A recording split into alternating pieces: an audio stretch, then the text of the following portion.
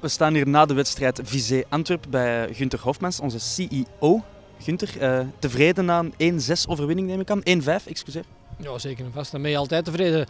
Langs de andere kant moet ik eerlijk zeggen dat je misschien niet zo tevreden kan zijn over de eerste helft natuurlijk. Dat dat beter gekund. Maar goed, de jongens die dan in de plaats zijn gekomen hebben het fantastisch gedaan. Dus dat geeft alleen maar weer dat de kern heel weerbaar is. En dat er mensen zijn die op de bank verzeild geraken, maar dan een steentje nog kunnen bijdragen. Dus dat is zeker en vast positief vandaag.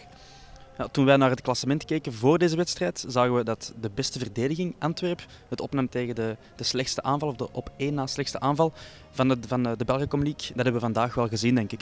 Ja, zeker en vast. Zeker en vast. In de tweede helft is dat gebleken dat er zelfs nog meer doelpunten kunnen vallen als we het een beetje beter uitspelen. Dus nee, dat heeft een uh, volledige uh, weergave gegeven van de reeks eigenlijk, zal ik zo zeggen.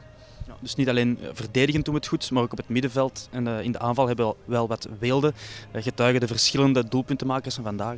Ja, zeker en vast. Dat is ook het positieve bij ons eigenlijk. Er zijn verschillende spelers die een doelpunt kunnen maken. Dus op dat vlak uh, zijn we goed bedeeld. Ja, nu Virton thuis, wat verwacht u daarvan?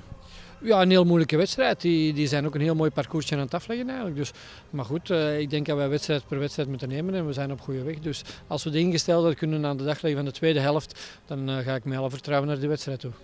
Ja, u zegt altijd, we moeten rustig afwachten en wedstrijd per wedstrijd bekijken. Wanneer maakt u een eerste balans op van dit seizoen? Dat zal ergens in februari zijn, begin februari. Dat gaat mijn balans eigenlijk zijn. Dan gaan we zien waar we staan ook. En dan weten we of dat we voor de plaatsen kunnen spelen waar we eigenlijk een beetje naar uitkijken.